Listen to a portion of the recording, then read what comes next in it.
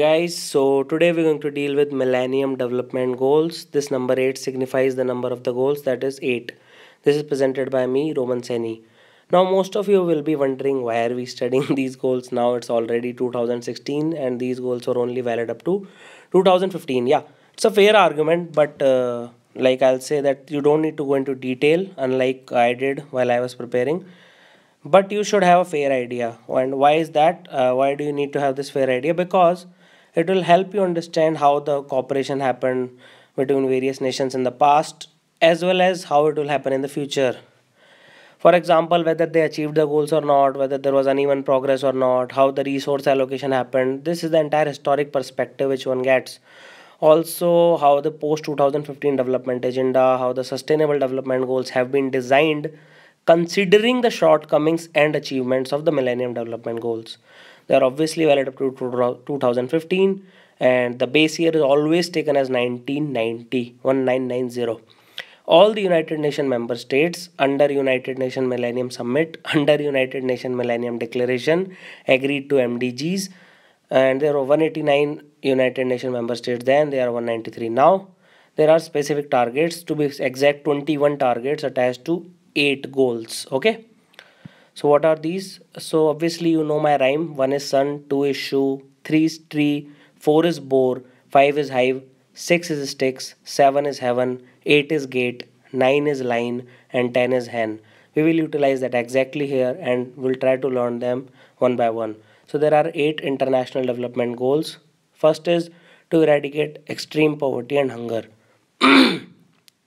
so as you remember the sun sun is very uh, shining very brightly and it is very hot and there is zero uh, vapors out there zero irrigation possibility and the people have nothing to eat and they are dying and there is no water and to eradicate uh, so there is extreme poverty and hunger. Associate this with sun associate this with one. You don't need to go into emotional ethical aspects while uh, making these images. They are just for understanding purposes only Second is to achieve universal primary education. Just remember the child is not wanting to go to school and his mother is beating him up with uh, shoes and then he reluctantly goes to school and he forgets to uh, wear his shoes and then he's beaten up by his PTI. Just remember 2 is shoe, 2 deals with universal primary education. 3 is tree. Just remember there are uh, boys and girls who are sitting under the tree and they are not learning rather doing other stuff and now just remember this gender okay? So to promote gender equality and empower women okay? Three is tree tree just remember boys and girls and gender okay? Sitting together. Four is boar. Just imagine the child is having diarrhea and he's about to die and there is no transportation vehicle. So finally he sits on a boar and then he is taken to the local phc where he gets his ors and vaccines. Five is hive. Mother is about to uh, like crash because she does not had anything to eat. Then a local tribesman passes her honey and finally she gets her health back. Just remember 5 is hive okay? And hive means honey honey means mother mother means maternal health. 6 means sticks to combat hiv aids malaria and other diseases. All these diseases have left the people crippled so now they have to walk using sticks. 7 is heaven only like a beautiful environment is there in heaven where everything is green everything is organic everything runs from renewable energies like solar energy etc so 7 means heaven heaven means environmental sustainability. 8 is gate. It means to develop a global partnership for development. Earlier all the nations used to close gate on each other but now they have finally opened and now they have started to develop a cooperation. Okay just remember this. There was a lot of funding for these goals from to world bank from g8 to world bank to imf so that uh, those heavily indebted poor countries can redirect their, their resources to achieve these targets. Now, what are these targets under these goals? So, these are eight goals. So, there are targets.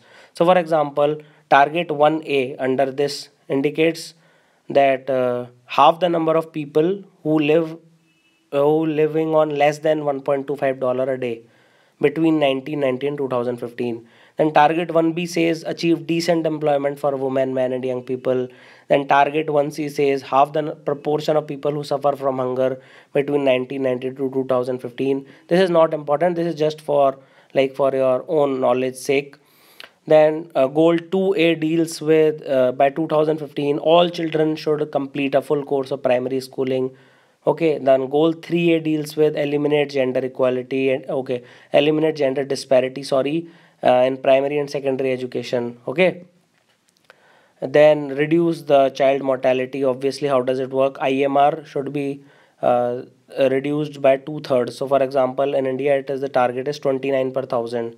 Similarly maternal um, maternal mortality you should have access to reproductive health then it should be reduced by three quarters. For example in india it was 560 in 1990 so the target is 140 by 2015 and for uh, hiv aids like uh, you should reverse the epidemic of hiv aids you should reverse the epidemic of malaria you should halve the num halt their progress okay?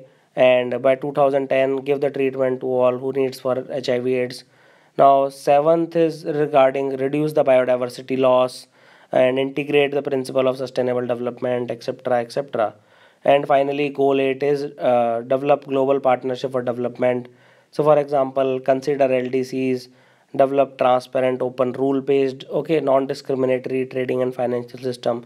So, these were the some targets. I will not go into detail of all of them. Total 21 in number.